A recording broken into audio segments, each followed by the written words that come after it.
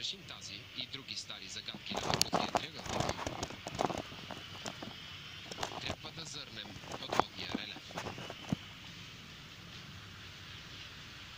Ако постепенно пресушим океана, бавно ще разкрием един поразителен пейзаж. Не виждан до сега.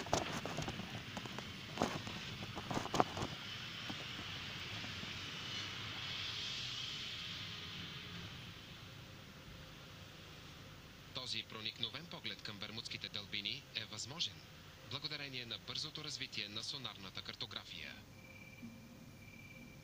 Сонарът излъчва звукови вълни към дъното. Отразените сигнали описват формата и профила на подводния релеф. Тази технология може да обясни наличието на стотици корабни останки около острова. Как си, Ник? Добре съм. При теб как е? Геологът Ник Хъчингс е модерен златотърсач. Днес, с помощта на сонарна картография, той търси признаци за специфични дънни формации в близост до някои потънали останки. Днес ще търсим минерални отлагания, които често се натрупват край угаснали подводни хипотермални цепнатини, бълбали черни вещества. Ник смята, че край угасналите цепнатини са отложени редки метали и минерали. Търсим главно злато и мед. Но в същата кора може да откриеш платина, кобалт, никел и особено редки елементи, които днес имат голямо значение за развитието на съвременните технологии. За да открие ценните метали, Ник използва спектрален сонар. Данните разкриват необичайния бермудски подводен релеф. Включително образование, подобно на планински хребет. Забелязвам своеобразно плато. Ще доближим така наречения му ръб, от който дъното се спуска надолу по тъгъл 60 градуса и потъва до 640 метра. Това е любопитно разкритие. Но защо край бреговете на остров Бермуда откриваме подводен хребет? За да получим отговор, трябва да погледнем пълната картина. С помощта на последните сонарни данни от Бермудските води, вече можем виртуално да пресушим цялата тази зона. След отстраняване на водата, малкият остров се оказва кацнал на живописно било на подводна планина, висока почти 4 км, издигаща се самотно в средата на Атлантика. Но как се е появила тук? Островът дължи съществуването си на едно значително вулканично изригване на това сравнително изолирано място върху океанската плоча през ранните фази на формиране на Атлантическия океан. Вулканът бавно нараствал в продължение на милиони години, докато се извисил над водната повърхност. Изхвърленият материал постепенно изградил обширен вулканичен остров, издигнат на 1200 метра над настоящото морско равнище. След угасването на вулкана преди 30 милиона години, вятърно-дъждовната ерозия превърнала планината в заравнено плато. Покачването на водите след ледниковия период оформило Бермуда като малък остров върху подводно възвишение.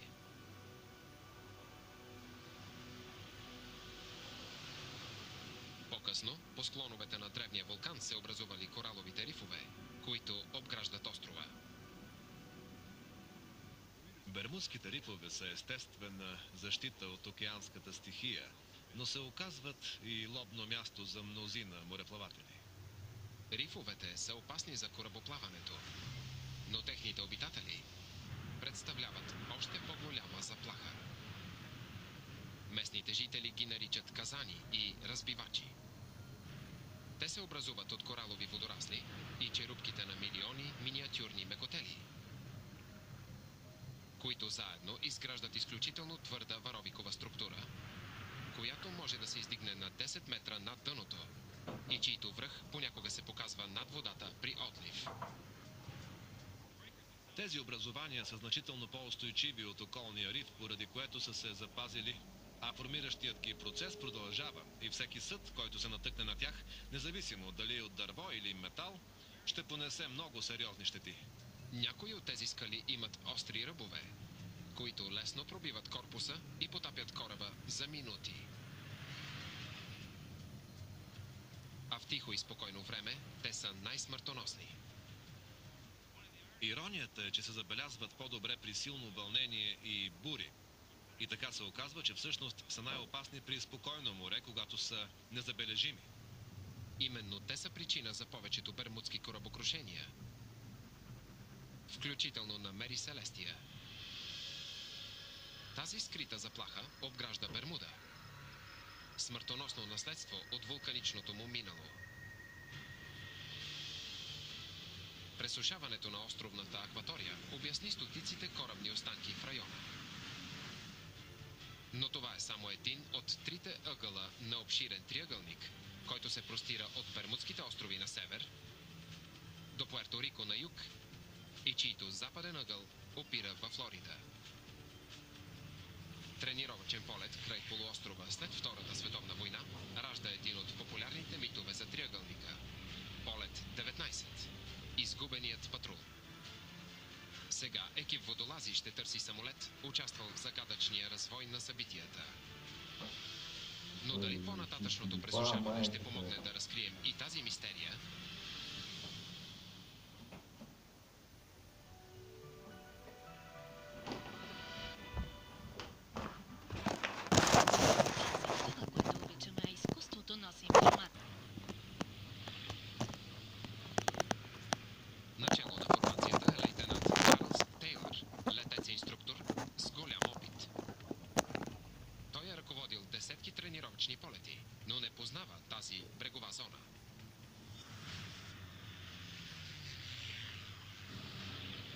След като преполовяват маршрута, нещата започват да се объркват. Лейтенант Тейлър съобщава за проблеми с компасите. Времето бързо се влушава. И скоро връзката с тях е изгубена.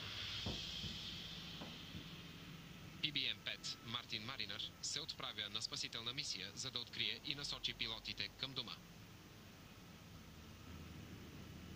Хидросамолетът изпраща обичаен доклад. Но след това радиото заглъхва.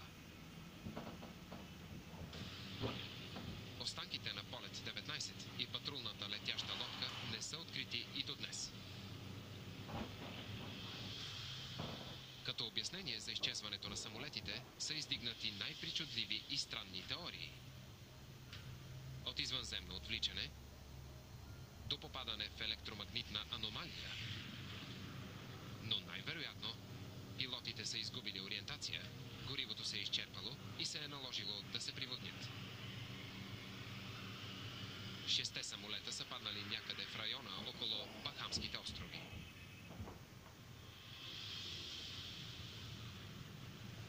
Сега за пръв път имаме възможност да пресушим региона до 5 км дълбочина. Така се разкрива обширна подводна зона без отличителни белези, наречена абисално дъно. Същинска гигантска подводна пустиня, което обяснява защо самолетите не са открити. Но днес, след цели 70 години, разполагаме с възможност да открием спасителния хидросамолет. Майк Барнет е специалист водолаз по издирване на изгубени самолети. Той дълги години е изучавал изчезването на полет 19 и смята, че е установил координатите, където се е разбил Маринър. Опитах да пресъздам летателния план в съзнанието си, за да установя маршрута и мястото на катастрофата. Започнах от базата Банана Ривър, откъдето излитат, след което поемат на север до Кейп Канаверал и се насочват над вода към зоната за търсене.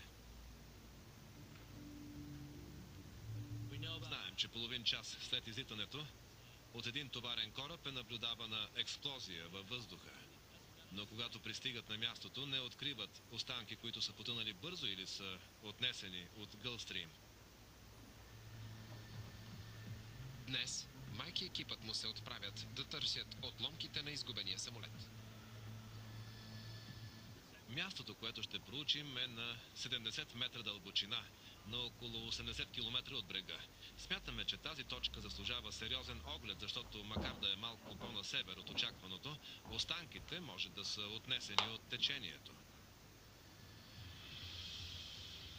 Местните рибари са забелязали отломки в района. И Майк следи за появата им на сонара. Току-що минахме над обекта. Изглежда плосък и малък, което е характерно за останки от самолет и сега ще се гмурнем да го огледаме. Скачай, скачай!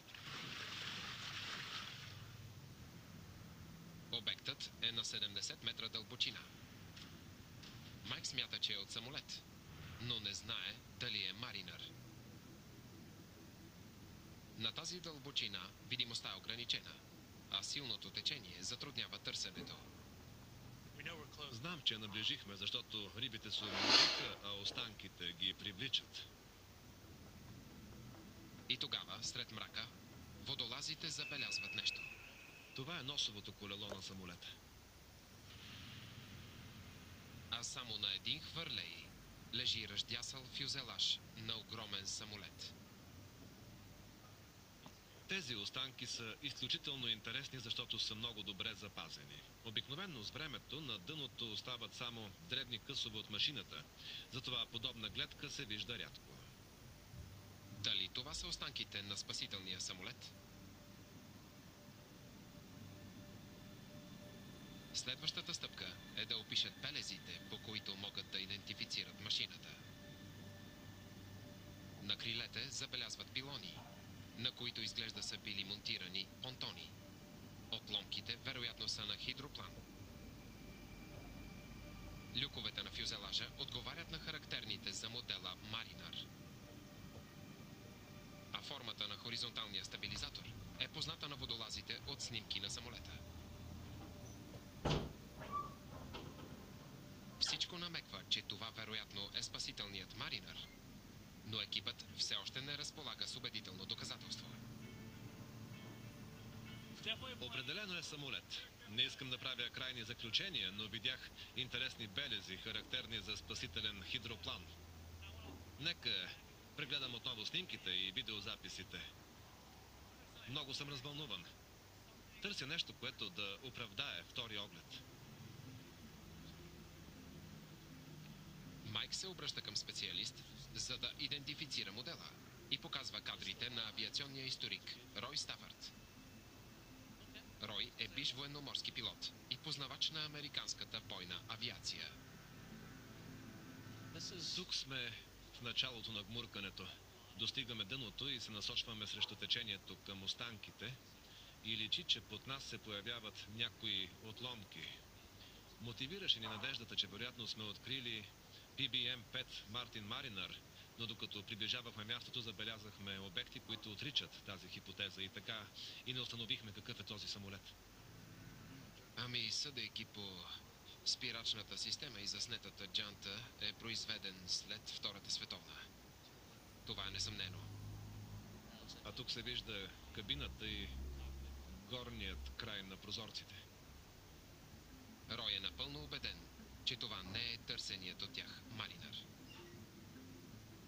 Но ако останките не са на спасителния хидроплан, тогава чии са? Отговорът може да разболи друга загадка на триъгълника. Ето нещо важно. Този люк в долния край вероятно е за камера. Да, видяхме няколко такива вътре, които веднага привличат вниманието. Двигателите са два. Това почти го разкрива и има две вероятности. Двата пилона сочат, че най-вероятно е RB-66, който няма работа в този район, или военноморският А-3. И не след дълго Рой окончателно установява модела на самолета. Без съмнение е А-3 Skywalker. Формата на фюзелажа, двата пилона под крилете, Загладеният тръп на хоризонталните плоскости и фактът, че колесникът се прибира в фюзелажа са категорични белези, че говорим за А3 Sky Warrior. На времето този модел е най-големият самолет, базиран на американски самолетоносач. Военноморските досиета сочат, че през 60-та година един от тях се е разбил при кацане на самолетоносач в района. Много е вероятно екипът на Майк да е открил останките на катастрофиралия А-3. Съдбата на полет 19 и спасителния хидросамолет остава загадка. Продължаваме търсенето, убедени, че са в океана, но трябва да установим координатите. Ако пресушим обширната абисална равнина около Бахамите, някъде из нея със сигурност ще открием изгубения патрул. А предвид състоянието на други потънали самолети, забелязани на дъното, ето как би трябвало да изглеждат след 7 десетилетия под вода. Докато отстраняваме все повече вода от Бермудския триъгълник и се спускаме все по-дълбоко, ще попаднем и на други странни явления. Древни бахамски легенди описват морски чудовища, скрити в дълбоководни пещери. Зверове, които поглъщат хора и кораби. И сега учените ще разкрият необикновената истина за тези разкази.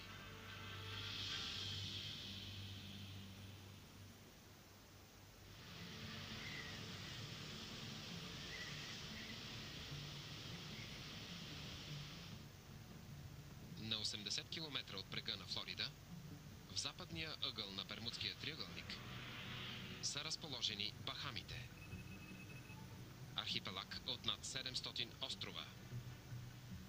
Тук попадаме на една от най-загадъчните природни сили в триъгълника. Водовъртежи, които според местните легенди поглъщат хора и кораби. Ако пресушим океана до 5 км дълбочина, ще разкрием поразителен пейзаж. Бахамите ще се извият върху обширно варовиково плато, което се издига от дъното. То е познато като голямата бахамска плитчина. Урви, по-стръмни от сухоземните си събратя, се реят на 4600 метра и са три пъти по-високи от големия каньон а близо до бившия бряг забелязваме други образования, едни от най-странните геоложки формации на цялата планета, наречени сините дубки. Това са гигантски подводни кухини, достигащи десетки метри дълбочина. Най-голямата и дълбока сред тях е синята дупка на Дин. Том Айлиф е сред водещите световни специалисти по сините дубки и познава скритата опасност. Има много случаи, в които хора доближават твърде много ръба на дупката, от който започва стръмен пясъчен склон. И ако не внимаваш и невнимателно го пристъпиш, ще се плъзнеш надолу в бездната. През годините синята дупка на Дин е отнела няколко човешки живота. Местните жители отбягват и разказват страховити свръхестествени истории за нея. На Бахамските острови ще научите множество разкази и легенди за сините дубки. Според една от тях, в тези дубки живее страховито чудовище на име Луска. И когато водата им спада или се надига, съществото я поглъща или изхвърля от своята паст. Други разкази съобщават за кораби, които приближили синя дупка и били трагично погълнати от същото чудовище. Удивително е, че в синята дупка на Дин Том е наблюдавал водовъртежи, подобни на споменатите в легендите.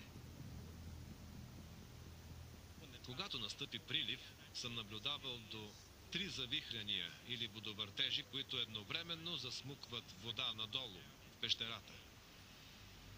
Том търси рационално обяснение за странното явление. Освен приливният ефект, дали в неизследваните дълбини на тази синя дупка не се проявяват и други сили? Само гмуркането може да му осигури отговор. Том изследва бахамските сини дупки от над 20 години, но те все още го очароват. Това са същински портали към друг свят. И когато се гмуркаш в тях, попадаш в уникално за планетата ни място. Сините дубки са необичайна природна забележителност, чието геоложки происход вече е установен. В края на последния ледников период морското ниво било по-низко, а всички тези варовици се издигали над повърхността. Киселинните дъждове прониквали в скалите, където оформили обширни пещерни кухини. По-късно част от техните тавани пропаднали и се родили сините дубки с отличителна форма на бутилка. С покачване на океаните след края на заледяването, тези образования останали под вода. Затова, когато Том се спусне в синята дупка на Дин, тя внезапно се разширява. Когато достигнем 18 метра дълбочина, ширината на кухината вече достига 45 метра. А когато се спуснем още по-дълбоко, до 24 метра, следва ново разширение и диаметърът и отново се отвоява, като вече достига почти 90 метра. А после, на 36 метра дълбочина, Том забелязва странични тунели, които се разклоняват от главната зала. Макар и малки, те представляват мощни всмукателни помпи. Край тях възникват силни приливни течения, които ще ни погълнат. Не ги доближихме много, но при отдалечаването се наложи да проведем нелека борба, за да се откъснем от тях. На 45 метра Том достига границата за екипировката си. Той не се е спускал по-надолу. Малцина експертни водолази са се гмуркали по-дълбоко, като един от тях достига невероятните 202 метра. Но тези дълбини все още са недостатъчно изследвани. И все пак вече знаем, че ако пресушим синята дупка на Дин, ще разкрием не само обширна пещера с форма на бутилка, но и сложна система от тунели и цепнатини, проникващи още по-дълбоко. Именно водният поток през тези тунели е причина за водовъртежите на повърхността, а не легендарно морско чудовище. Пресушената дупка на Ди се оказва зловеща, но напълно естествена геоложка структура. И макар бахамските сини дубки бавно да разбулват тайните си, в Бермудския триъгълник се наблюдават и множество други необяснени явления. Съществуват разкази за внезапно изникващи високи водни стени и за причудлива субстанция, която покрива дъното и може да унищожи корабите.